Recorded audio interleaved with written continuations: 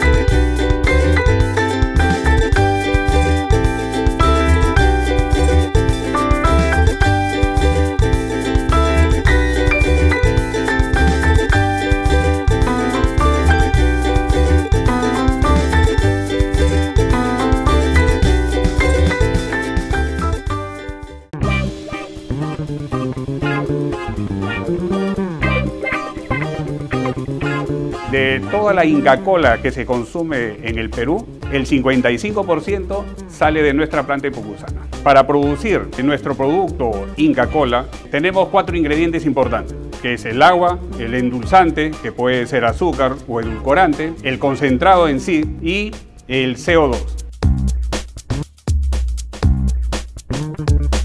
Teniendo ya el agua potable lista para ingresar a nuestro proceso, la otra etapa es la preparación del endulzante. Si es azúcar, tenemos también una preparación, un tratamiento especial para el azúcar, para que esté en condiciones óptimas para pasar a hacer la, la mezcla. Tenemos un proceso bastante automatizado donde ya se realiza la mezcla de acuerdo a una receta preestablecida. Una vez que está preparada es enviada a la línea y en la línea, antes de que sea llenada, se le inyecta el CO2. En la línea tenemos dos tipos de procesos diferenciados.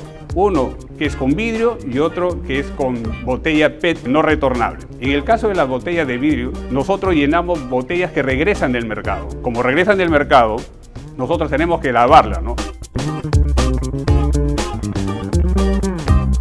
Pero una vez que sale la lavadora, tenemos que garantizar que no lleve ningún, ningún cuerpo extraño, que, que esté la botella en óptimas condiciones. Y eso lo garantizamos con un equipo de inspección electrónica. Luego de pasar y separar a las que no son aptas para el llenado, pasa a ser llenado.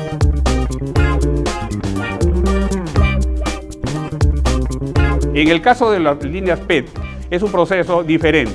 Nosotros soplamos la botella. Tenemos una máquina totalmente integrada que consta de una sopladora y una llenadora, donde el input, el ingreso, es la preforma. Y la preforma a través de todo el proceso que nosotros conocemos, es soplada, perdón, y luego llenada.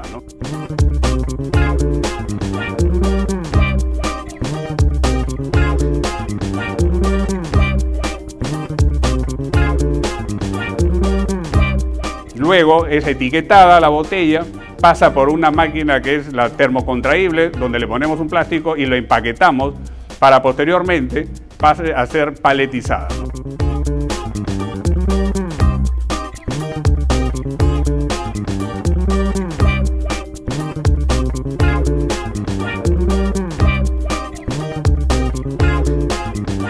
De ahí el proceso, igual que en la de vidrio, montacargas retiran los pales formados, llegan al almacén para posteriormente ser distribuidos.